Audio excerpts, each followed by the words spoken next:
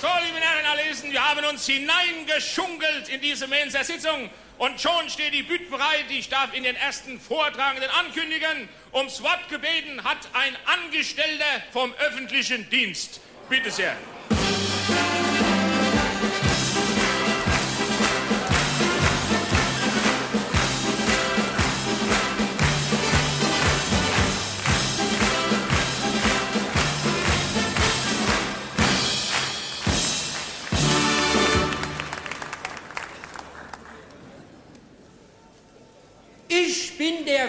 Feldschütz Guck genau. Bin Mitglied in der ÖTV.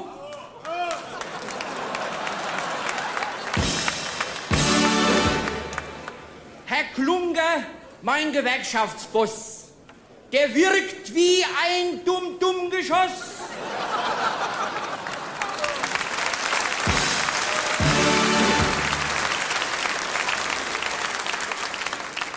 Wenn dem sein starker Arm das will, stehen Mäue alle Räder still. Ob Omnibus, ob Müllabfuhr. Wir hören auf sein Kommando nur und auch die Deutsche Bundesbahn lässt ohne Klunger keinen fahren.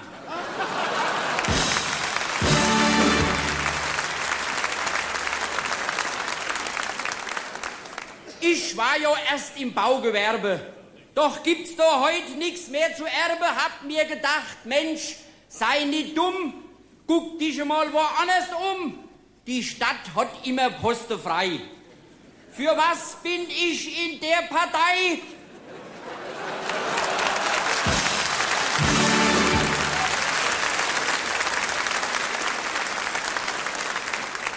Zumal mein Freund, sein ältester Sohn, viel Einfluss hat in der Fraktion und auch mein Vetter, Vincens heißt er, der kegelt mit dem Bürgermeister. Ich selbst hab schon mit letzter Kraft bei manchem Stadtrat schwarz geschafft, so dass für mich nach meinem Verstand an sich nichts mehr im Wege stand, selbstlos und fleißig wie eine Biene der Stadt und so dem Staat zu dienen. Am nächsten erste ging ich ran. Da war was los, mein lieber Mann. Ich ging zum Zwecke der Entfaltung als erstes auf die Stadtverwaltung. Auf Zimmer 1 sollte ich mich melden. Doch das war leer. Der Angestellte war außer Haus und an der Wand, da hing ein Schild. Auf jenem stand, wenn niemand in dem Zimmer hier, dann bitte melden, Zimmer 4. Ich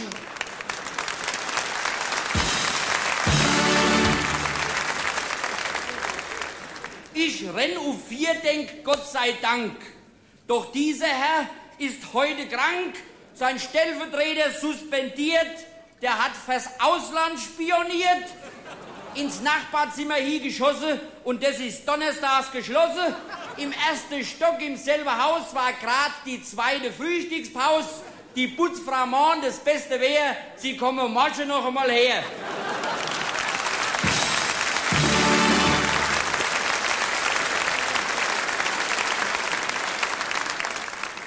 Am nächsten Tag dann hat's geklappt. Ich habe großes Glück gehabt und treff den Chef vom Personal. Ich denk, der Daus, Herr je noch mal, du hier im Amt, du altes Loch. Mensch, Kumpel Schosch, dich kenn ich doch. Wir haben noch vor ein paar Jahren auf einer Baustelle Sand gefahren. Heit bist der Amtmann oder mehr, mein lieber Mann, Karriere, Karriere.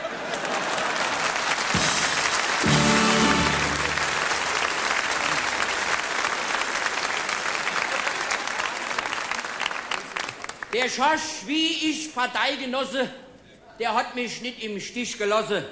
Hat mir als erstes ungeniert den Platz als Feldschütz offeriert.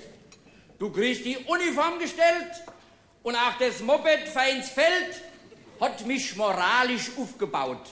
Schreib jeden auf, der Äppel klaut, deine Arbeitszeit von 8 bis 3 und freitags mittags hast du frei wenn Männer dann vielleicht auch Frauen ab freitags mittags etwas klauen, dann geht ich das, mein lieber Mann, tarifvertraglich nichts mehr an.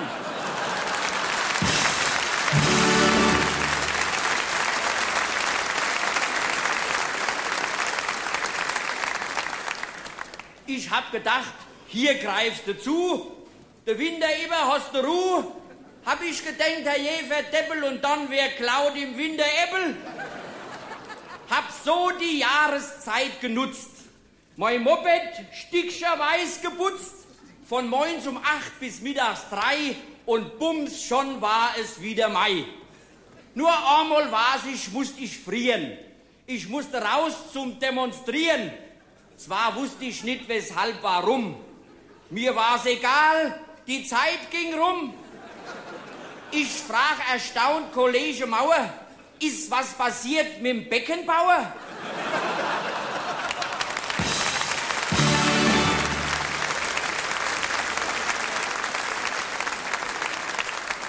Ist was passiert mit dem Beckenbauer oder vielleicht mit Meiersepp?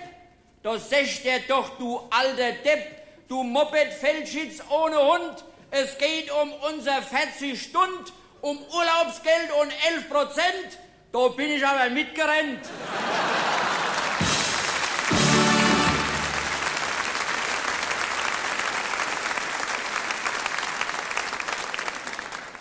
Dank unserem Klunker sozusagen haben wir den Sieg davon getragen und haben 11 Prozent errungen. Nur waren die Bäcker jetzt gezwungen und auch die Metzger ohne Frage, um den Prozentsatz aufzuschlagen. Selbst meine Gewerkschaft, ungelogen, ist mit ihrem Beitrag nachgezogen.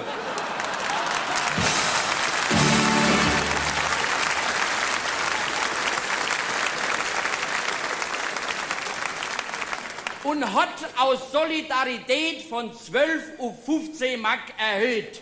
Doch gibt's keinen Grund, dass einer schenkt. Das sind ja auch nur 3 Prozent.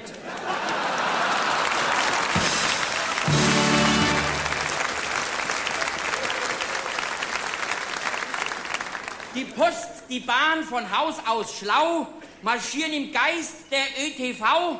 Die städtischen Verkehrsbetriebe ziehen mit. Aus purer Nächstenliebe, auch ich persönlich bin so frei, und trage auch mein Schärflein bei als ÖTV-Gewerkschaftstreuer in Form von Lohn- und Kirchensteuer und frag mich dann zum dicke End. Ei, was sind sie dann? Mal 11 Prozent?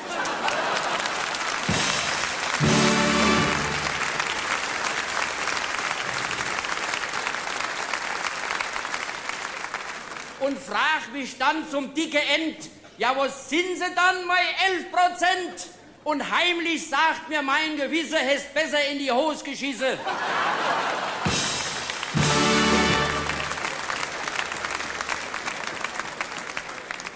Als Angestellter der Gemeinde, da schafft man sich natürlich Feinde, weil meistens man auf Posten sitzt, wo doch ein anderen schon drauf spitzt. Er lernt schon wegen Kindergeld. Wir sind auch sonst nicht schlecht gestellt, man kann uns auch nicht kündigen. Und wenn man noch so sündige, doch, ob Minister oder Schütz, man hockt halt auf dem Schleudersitz, ganz je nachdem, wer gerade regiert. Die Sitzplätze sind auch nummeriert. Ganz vorne in der ersten Reihe sitzt die Elite der Partei. Die nächste Reihe festgeschlossen für ältere Parteigenossen. Ab Reihe 20 unterm Strich gibt's dann die Poste wie für mich. Das hat seinen Vorteil, glaubt's ihr leid, man fliegt beim Schleudern nicht so weit.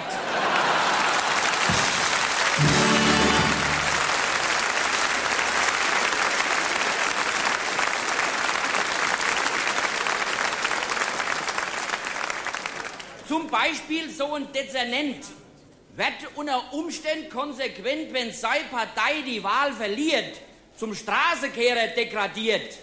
Wenn allerdings beim nächsten Mal dieselbe Partei gewinnt die Wahl, er schleunigt sich vom Besen trennt und wird dann wieder Dezernent.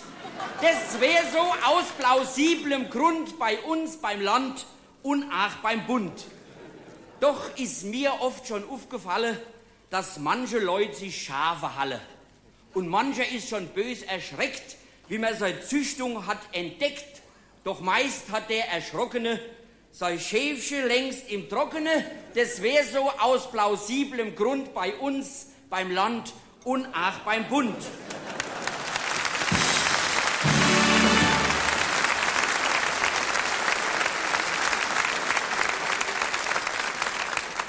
Und damit die Schafe trocken stehen, baut man einen Stall. Sehr oft am See. Der Gardasee hat seinen Reiz. Man baut auch Schafställe in der Schweiz. In Skandinavien stellt man munter.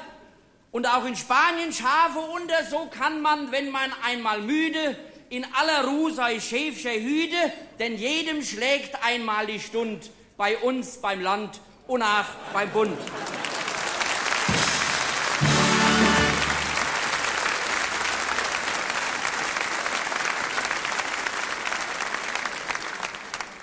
Bei uns natürlich hier am Ort gibt's sowas nicht.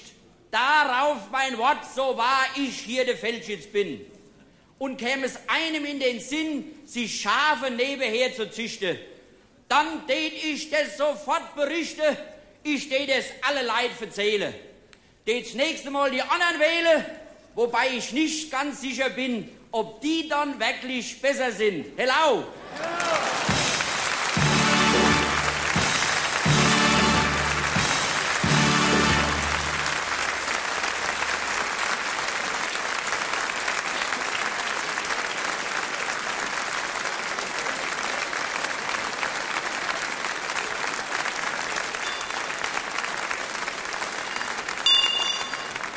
Mein lieber närrischer Freund, du hast nicht nur der 11 Prozent, sondern beim Vortrag auch deinen Schnorres verloren, habe ich gesehen, ja?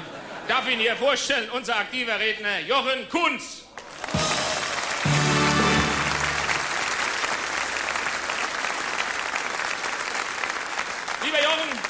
Nach deinem Gewerkschaftsvertrag hast du ja freitags mittags frei, schon um 3 Uhr, aber die Narren haben ja noch keine eigene Gewerkschaft, vielleicht kommt das auch noch. Deshalb bist du heute Abend hierher gekommen und hast uns diesen großartigen Vortrag gehalten. Dafür herzlichen Dank. Ich rufe dir zu, auf Wiedersehen in der nächsten Kampagne. Jochen Kunz, auf Wiedersehen.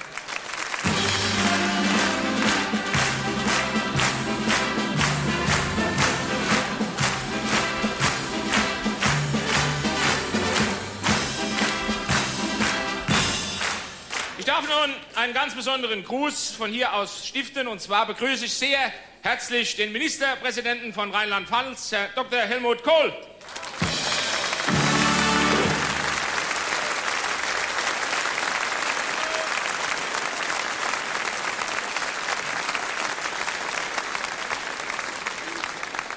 Herr Ministerpräsident, ich habe Sie da ohne gesucht direkt, aber Sie haben sich genau in die Mitte hineingesetzt, genau Mitte neu in die Rheinland-Pfälzer.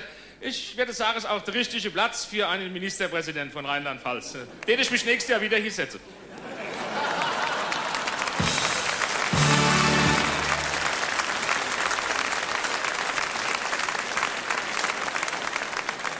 So, und es geht gleich weiter. Nun kommt die gesungene Menser Fassenacht. Es stehen vor der Tür die drei Maledos. Bitte schön.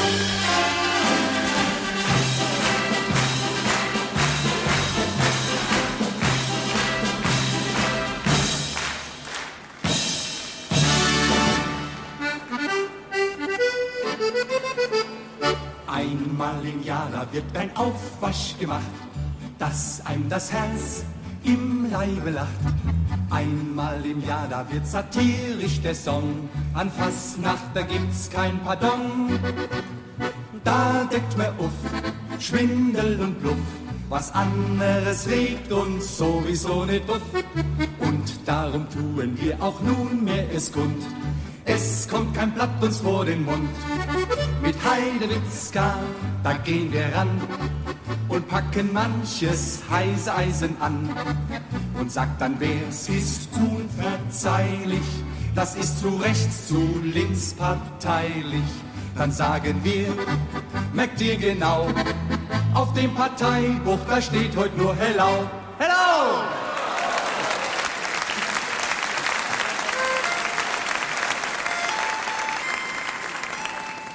Hier ist wieder der Freiheitssender Wurzenhofen am Dienststein mit der Sendung Vom Telefon zum Mikrofon. Sie hören die Meldung, Bonn. Wie wir soeben aus dem bunten Wirtschaftsministerium erfahren, ist man dort trotz Steuerreform wohlauf. Äh, man hofft, dass man die wirtschaftliche Situation bis zum Spätherbst begriffen hat, Entschuldigung, im Griff hat.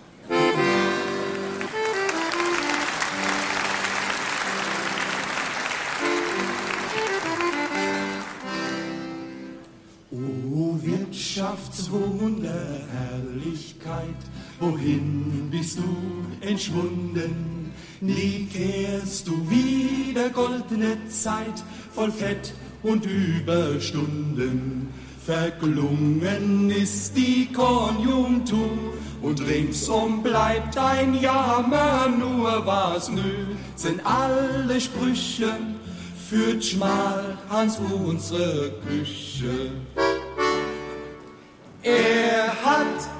Was macht man nun? Schmücker, was ist zu tun? Wir fragen auch de Schillerkall, was macht man dann in so einem Fall? Sagt uns, was sollen wir tun? Wir hatten schon diverse Wirtschaftsminister aus SPD und CDU. Nun haben wir einen FDP-Mann, das wisst ihr, und hofften all auf Friedrichsruh.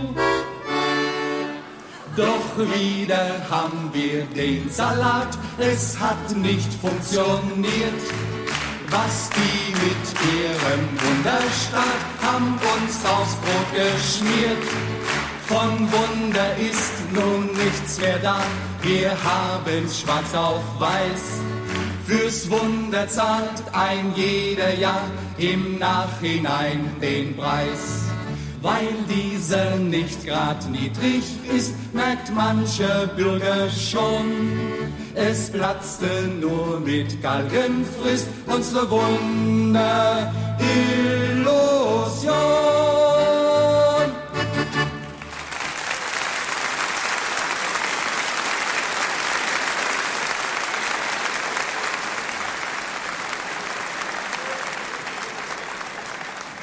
Hören die Meldung. München. Alfons Goppel betonte gestern, dass Franz Josef Strauß bei der nächsten Landtagswahl auch die 200%-Hürde nehmen würde. Äh, Goppel berief sich dabei auf Hochrechnungen des Bayern-Kurier. Ja, du legst ihn nieder und stehst nimmer auf. Ja, du legst ihn nieder und stehst nimmer auf. Die Sozis haben nun den Beweis, in München wurde es klar. Der Vogel ist ein Kolibri, so klein und unscheinbar. Die CSU kann sicher sein, sogar in München Stadt, dass die Partei mit ihrem Strauß den größten Vogel hat. Ja, du legst den nieder und stehst nimmer auf. Ja, du legst den nieder und stehst nimmer auf. Ja, hallo? Bitte? Nein, nächstes Jahr fällt die Sendung mit dem Telefon aus, ja? Wir haben dieses Jahr schon die Klingel gespart, ja? Richtig. Ortsspüren steigen auf 200 Makroeinheit an, ja. Bitte? Nein, die sind nicht übergeschnappt, das liegt am Defizit. Und wie wir soeben aus dem bunten Postministerium erfahren, wird trotz Defizit die Anzahl der Beamten weiter steigen. Und zwar schneller weiter steigen wie ihre Überflüssigkeit.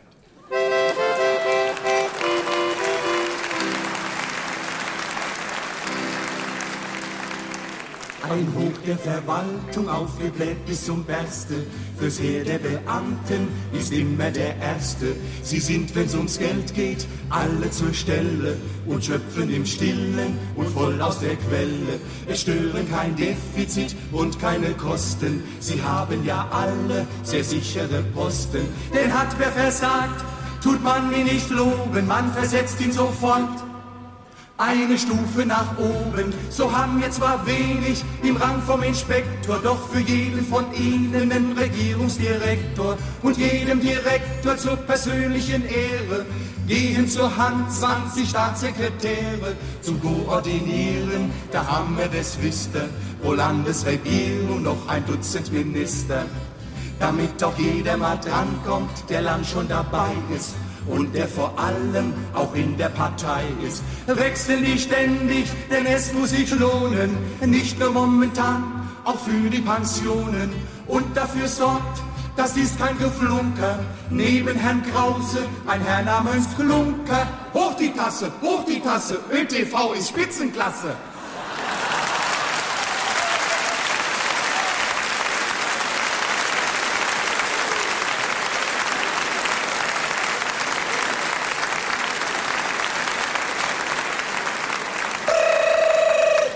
Ja, hallo? Bitte? Ja? Ach, guten Abend, Herr Ramsch, ja? Was? Sie wollen auch schnell zu Geld kommen? Gar kein Problem, da haben wir Mordstipps auf Lager. Jawohl, ob D-Mark, Schweizer Frank, Pfund Sterling, den besten Tipp gab uns Herr Gerling. Wir gründen eine neue Bank, bewerbt euch, meine Herren. Denn jeder, der ein Gauner ist, kann dort Direktor werden. Und fliegen krumme Dinge auf, dann wissen wir uns rat. Wir halten für den Ernstfall schon den Schuldigen parat. Eins, zwei, Dattel. Und zur schnelleren Ermittlung des Schuldigen haben wir auch ein kleines Abzählverschen bereit. Itsche, ditsche, pfeffer, ditsche, itsche, ditsche aus. Der Gerling, der hockt nicht im Kitsche, der hockt brav zu Haus. Itsche, ditsche, pfeffer, ditsche, lasset er en Ast. Wenn unser Einzelbrief mal klaut, dann kriegt er zehn Jahr Knast.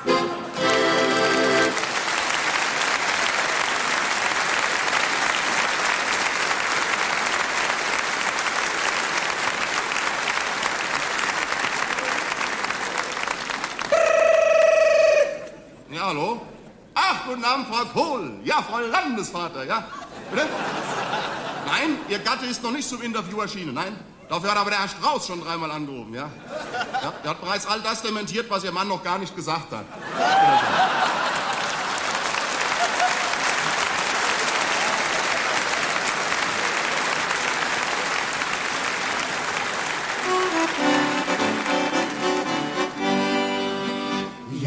Bayern ertönt es wohlgesinnt. Der Kohl muss wissen, wo seine Grenzen sind. Doch vom Pfälzerwald bis Trier hörten eine Antwort, wir, ja die Antwort, die brachte uns der Wind. Zieh den Kopf aus der Schlinge, Helmut Kohl. Bei dem Gedanken an Strauß ist uns nicht wohl. Zieh nicht ein, ein Pelzerschwänzchen.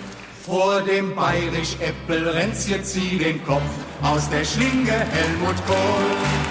Ja, zieh den Kopf aus der Schlinge, Helmut Kohl.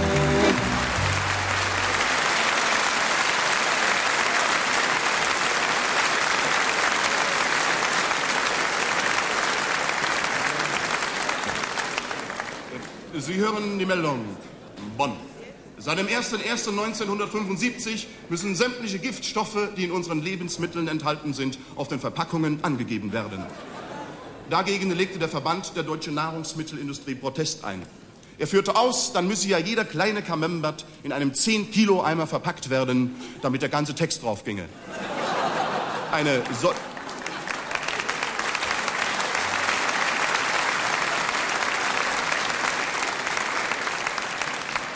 Eine solch große Verpackung täusche aber die Verbraucher, denn es sei ja weiter nichts enthalten als. Hexamethylen, Capol, Tetraacetyphenol, Multipapa, Hexamet, Plexipapa, Dynamit, Dextroallergenamol, Schwefelsaures, Bicarbon, Bisulfat und Carinat und dazu noch Tetramat. Es reichen kleine Dosen da schon aus. Fällt's auf die Hose, brennt es Löcher raus. Doch egal, mit was man konservieren lässt. Hauptsache ist der Rubel rollt, wenn ihr es frisst. Ist noch mehr dabei. Tetraacetyl 3, Astroallergenalit, Tetrasaurus Anthrazit, Benzosäure Natrium, Ferrocapularium, Mama Hoxagladiol und dazu noch Vitriol, Bleigehalt von Autos und Gift von Industrie. Die findet man im Essen so häufig wie noch nie. Wir haben zwar Gesetze, jedoch Kontrolle fehlt, denn niemand kümmert sich darum, weil nur der Profit zählt. Ja, Hexamethylencapol, Tetraacetylphenol, Multipapa, Hexamid, Plexipapa, Dynamit, Dextroallergenamol, Schwefelsaurus, Bicarbol, Bisulfat und Carinat und dazu noch Dekramat und wird verkrankt von diesem deutschen Schmaus. Die Krankenkasse zahlt, das reicht doch aus. Die Chemie, die trifft sich in der deutschen Küche, auf dem Frühstücks-, Mittags- und dem Abendtisch. Doch da kommt noch mehr dazu, eh du gehst zur Ewiru. Wasser ist verseucht total, voller Chlor und Penetral. Selbst in der Suppe gibt's Kapit, Biosexy Sulfamid, Hexamethylenbanol, Schwefelblei und Bicarbol. Es reichen kleine Dosen da schon aus. So füllen jedes deutsche Krankenhaus. Doch egal ist da fast jeglicher Protest. Hauptsache ist der Rubel rollt, wenn ihr es fresst.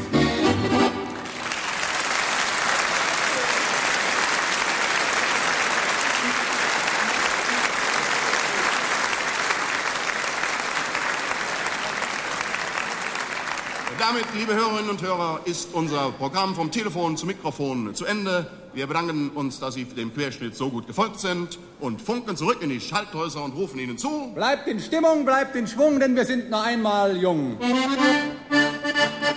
Es gibt hier auf dieser Welt nicht nur Sonnenschein, doch für uns soll jeder Tag so wie ein Sonntag sein.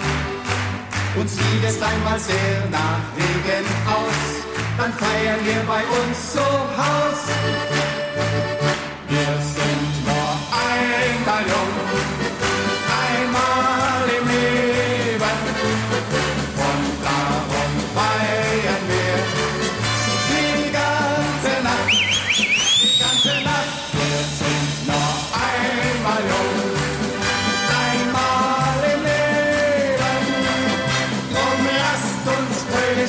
sing.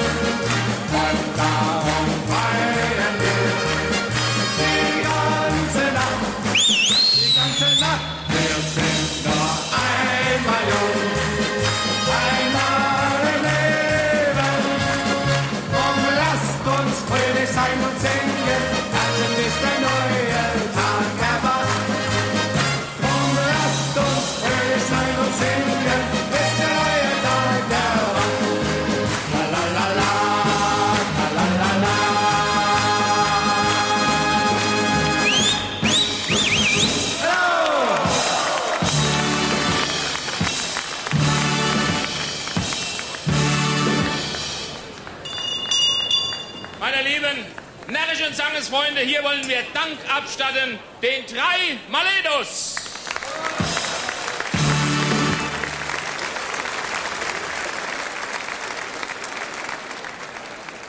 Meine lieben Freunde, habt alle herzlichen Dank. Der Name Maledos muss hier noch einmal erklärt werden. Maleden, das sind also Aprikose, gell? Die wachsen besonders da draußen in Mumbach. Die hat einmal ein französischer General hier eingeführt, diese Maleden. Und daher kommt der Name. Ich bin froh, dass er keinen Italiener mitgebracht hat. Der hätte vielleicht Tomate mitgebracht. Da wären jetzt die drei Tomatos. Ne? Hätte sich der Herr Drescher gefreut, wir haben mal was Rotes auf der Bühne. Gell?